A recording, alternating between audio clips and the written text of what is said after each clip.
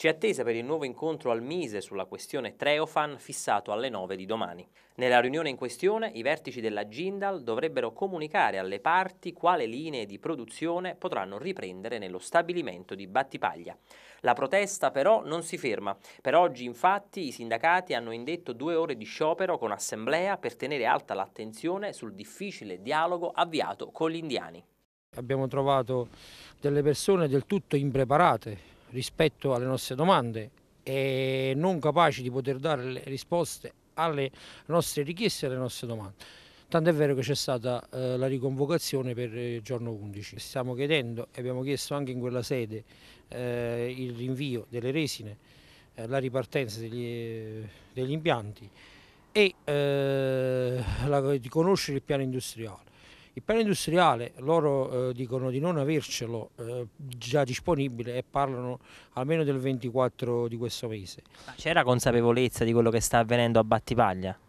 Ma ti ripeto, l'atteggiamento mm, che hanno avuto è quello proprio di ignorare totalmente la situazione, eh, continuare a parlare di eh, cose sbagliate, cose inesatte, Ehm, la mancanza di ordini quando sono stati loro a spostarli e continuano a spostarli, la mancanza di profitto che non è vero perché ripetiamo sempre, lo stiamo ripetendo a gran voce che eh, lo stabilimento è quello che ha avuto negli anni non solo una, un, un, un più di chiusura dei bilanci, ma sempre un trend positivo, quindi eh, se una volta è stato guadagnato un milione, l'anno successivo due, poi tre, poi quattro, quindi è sempre una crescita totale.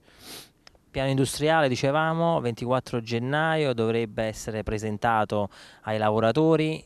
Che cosa immagini in questo senso? Facciamo prima dire cosa spero.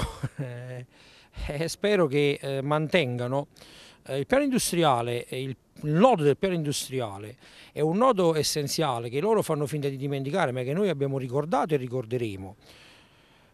Mi spiego meglio, quando Management e Capitale ha ceduto a Jindal, la, eh, con questa cessione che stiamo definendo e continuiamo a definire opaca e scura, la, la Treofan, ha giustificato questa cessione perché Jindal era l'unica capace di poter portare avanti questo piano industriale che poi fra parentesi è un piano industriale che Management e Capitale ha fatto a marzo del 2018 quindi non è che stiamo parlando di tanti anni fa e quindi loro se parlano di assenza di piano industriale come fanno finta di ignorare eh, o ignorano o non sapevano. Eh, il fatto che sono stati stanziati da, con l'accordo Corepac 10 milioni di euro su questo stabilimento e noi le, non, non, lo so come la dobbiamo leggere. Se effettivamente non sapevano eh, ci dobbiamo fare un quadro. Se effettivamente sapevano e fanno finta di non sapere il quadro ha una valenza diversa